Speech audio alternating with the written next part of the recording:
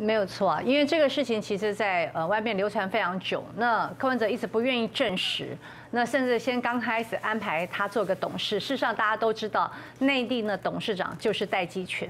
我觉得戴季全最主要的问题哦，我我个人认为倒不是说因为他原来经营网络公司，呃或者利益回避的问题，说实在，这家网络公司也许他帮嗯。可以去打选战是很很很了不起的，可是它跟悠游卡的一个整个的利基跟竞争是没有办法相比的。那呃，我我个人来讲，就说嗯，对于政府机关或者我们转投资的一些事业，如果今天你在这个业界真的做得非常有名望。大家觉得你真的是一个专业的人士，我觉得你过来也没有什么问题，因为你绝对有这个专业的能力。那我觉得戴季全最主要的问题不是在于说他真的有这样的一个专业能力。说实在，类似像他这样的，呃，就是所谓的这种自己创业的这些网络公司，在台湾没有没有成万也有上千吧。就有太多，如果按照他的那个资格，是太多人可以符合他这样的资格，所以我觉得，即便他现在已经辞去他的呃过呃，他说他原来他原来的公司的怎么董事长负责人，那基本上就算他做了一个所谓利益回避动作，但是没有办法去转移，他确实是一个政治仇庸嘛，这个这个是没有办法转移。今天戴季全到底你你靠什么而能够当上悠游卡公司的董事长？说实在，你今天呃优卡控股公司的董事长林向凯，那大家就说把他两一本来是对把把拿出来。那当然，这个对我们台北市政府是多花钱，多花台北市民的纳税人的钱。可是林向凯他做过高雄市的财政局长，财政局长，他做过高雄银行的董事，台大经济系教授。对台大经济教，我觉得在他的专业度上，我不会质疑说林向凯你凭什么当那个优卡控股公司董事长？对。但是戴季全你放在那边，很多人就说戴季全你凭什么当优卡公司的董事长？我再补哎，我再补充一点哈，我我我补充一点，大家那。人家在问柯文哲的时候，柯文哲说做不好就换掉，这什么话？我我我回过来印印证，像那个台中市，现在台中市长不是说他他他的那个呃，就是最最适合居住的九九名，然后呢，现在林林佳龙就可以厚着脸皮说啊，这个是我们八十几天的功劳。你知道我们现在悠游卡，我们现在悠游卡他所做的事情啊，呃，我举例，我们到我前一阵子到大阪啊，到大阪有一家呃日本大阪。有一家百货公司，你如果持有悠游卡，你有折扣。哎，我都不晓，哎，说实在，我们当医院监督到现在，我们不晓得，竟然悠游卡已经已经打进日本的市场。对他，他他虽然不能支付，但是你只要拿着我们的优卡，你可以有百分之十的折扣。台湾客人。哎，对不？哎，证明是台湾客人。他，但是他基本上他他同就是他这个一点大阪变折扣卡。对，然后呢？我们事实上现在也在做什么呢？就是对新加坡或者是日本跟香港的一个交通的支付，我们希望能够做连线。这个是对，这个是我们现在在做的。好，所以有一天今天他做成功了，那么戴季全也可以脸不红气不喘说，这是因为我当董事长的功劳吗？我洪文是说，因为你知道悠游卡这个东西从无到有，从马政府到到到这个到整个郝龙斌的政府，老实说，今天我们刚刚讲的行动支付也好。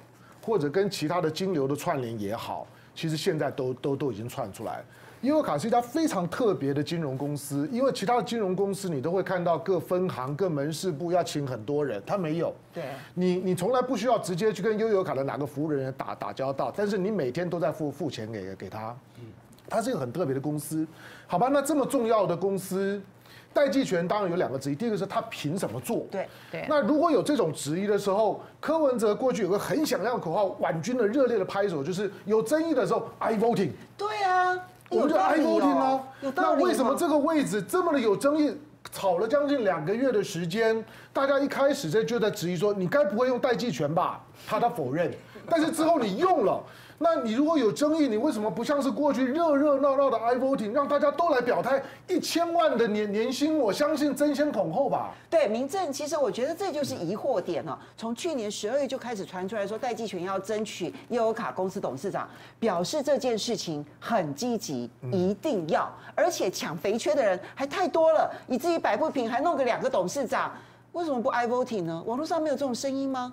呃，就是因为太重要，所以不宜 i voting 吧，我是这么认为啦。嗯，因为太最重要的东西当然要掌掌握在自己人手中啊。可是我们必须哈很延迟的谈到一个人，叫做李远哲。为什么？因为从李远哲开始，他讲了一句话说，竞选的承诺不必兑现，所以。柯文哲何必在乎说我曾经讲过竞选团队不入阁呢？因为李远哲已经为政治人物大开方便之门。其实我们刚刚列出来的六个人呢，不是只有这六个人，因为有一些是什么新闻联系啊、发布啊什么的，非常多，非常多。他原来的竞选团队现在都进入市政府了，通通有奖，几乎。我可以再讲一下哈，我对戴季权的疑虑，还不只是说呃利益冲突，或者说是他的资历不够。其实有一个是说，因为他是在做网军的。他是他的他他的技术能力不是很强，但他擅长于把把网络上的资讯攻入，变成军队化为选战的利器。我直接讲啦，你知道什么意思？我我举个例子，悠游卡，悠游卡现在有些已经是实名制哦，嗯，就是他已经跟比如说学生学生的悠游卡已经是你知道你这学生所有的资料都登录在悠游卡上面，是，然后他还有一部分是跟信用卡公司合作的联名卡。所以你个人的资料已经在上面了。再来，将来代际权。所以如果我当优卡公司董事长，我就会拥有这一些各资，还有五千张卡的名单，五千五千万张卡，五千万张卡的名单。代际权已经放话了，他说他希望把悠游卡跟身份证字号连接。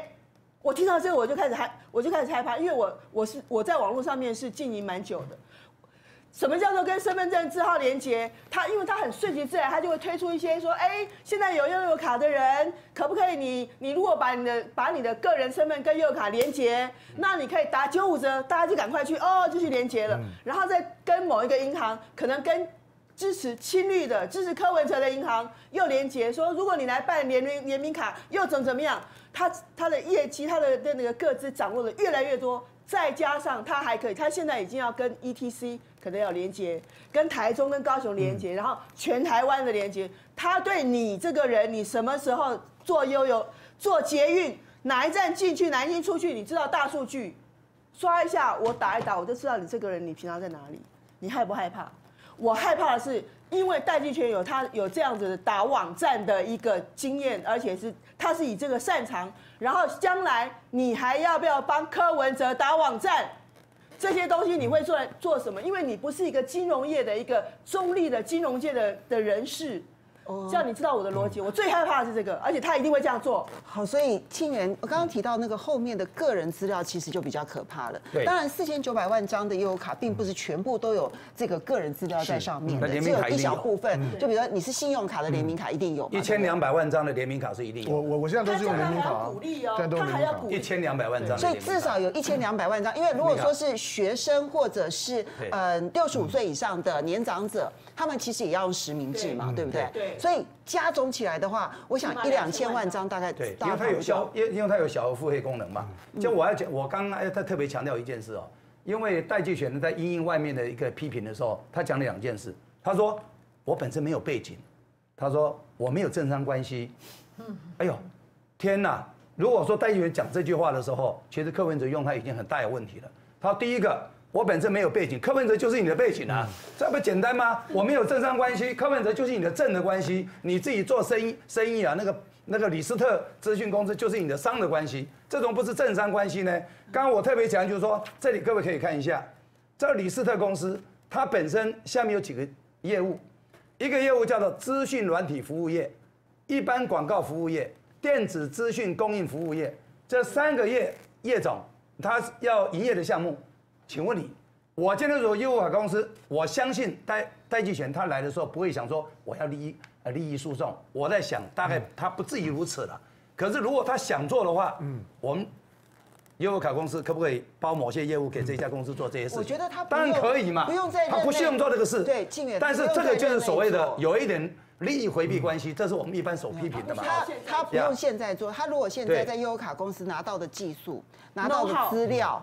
拿到的所有的这一些，其实在网络上最贵的就是这些资料。他拿到了这些以后离开悠游卡公司，对，我想那才是最宝贵的资产吧，哈。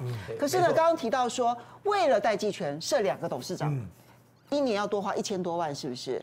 哎，有人就提到了说，你记不记得柯文哲上来之后说啊，这个也好贵哦，那个也花好多钱哦，所以要退报纸，退报纸省一千万，刚刚好让戴继全当董事长。休息一下，马上回来。